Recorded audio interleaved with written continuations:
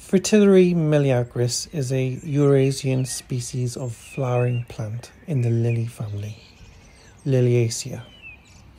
Its common name includes snake's head fritillary, snake's head, the original English name, chest flower, frog cup, guinea hen flower, guinea flower, leper lily, because its shape resembled the bell once carried by lepers. Lazarus bell, checkered lily, checkered daffodil, drooping lily, or in the British Isles simply fritillary. The plant is a bulbaceous perennial, native to the flood river plains of Europe, where it grows in abundance.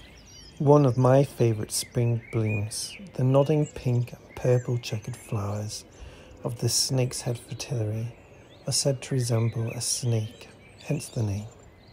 Declining with loss of our meadows, this delicate plant can be seen in spring.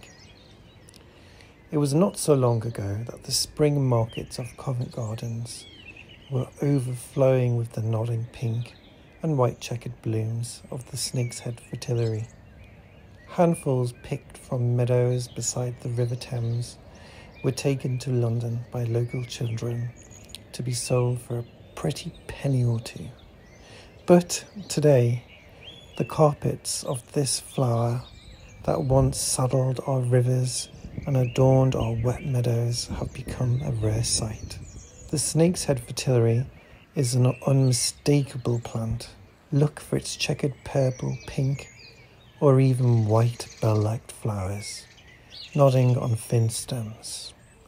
It has narrow grey-green leaves that appear at the base of the plant and occasionally up the stem.